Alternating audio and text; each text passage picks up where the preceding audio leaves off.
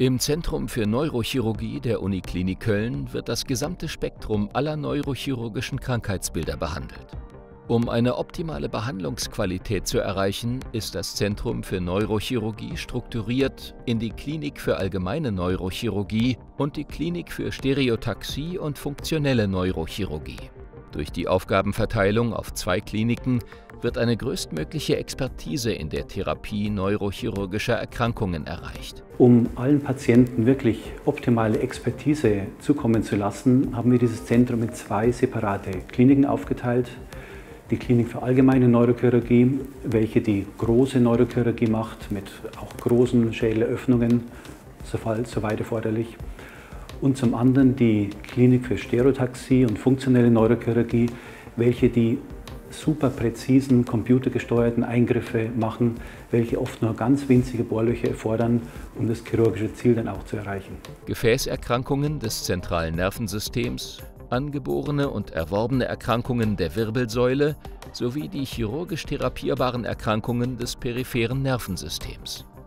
Wir behandeln dabei Patienten aller Altersstufen, äh, begonnen vom Neugeborenen mit den ganzen spezifischen neurochirurgischen Erkrankungen bis zum höchsten Lebensalter. Letzteres bezieht sich auch wieder auf Tumoren, Wirbelsäulenerkrankungen. Da ist nicht nur besondere Expertise, sondern auch sehr viel Fingerspitzengefühl gefragt. Insgesamt verfügt die Klinik über 44 Betten auf zwei Stationen. Hinzu kommt eine Intensivstation mit 14 Patientenbetten. Modernste Geräte und Instrumente, unter anderem für mikrochirurgische Operationen, bieten exzellente Voraussetzungen für die Therapie des gesamten Spektrums an Hirntumoren im Kindes- und Erwachsenenalter. Gerade bei den sehr alten Patienten, die auch sehr viele Begleiterkrankungen haben, muss man sich ein gutes Bild machen, ob wir mehr nutzen oder schaden. Und da bedarf es einer sorgfältigen Abwägung, auch im Gespräch mit dem Patienten, mit der Familie, was wir tatsächlich tun sollen. Und erst wenn wirklich Übereinstimmung besteht, dann setzen wir ein mögliches operatives Konzept auch um. Die Einführung der fluoreszenzgestützten Tumorchirurgie ermöglicht eine genaue Abgrenzung von krankhaften Tumorzellen zu gesundem Gehirngewebe. Patienten, die notfallmäßig vorgestellt werden müssen, bettlägerig sind oder aus anderen Kliniken kommen, können in der neurochirurgischen Poliklinik ambulant beraten und behandelt werden. Weitere Schwerpunkte der Klinik sind die operative Behandlung von Tumoren der Schädelbasis.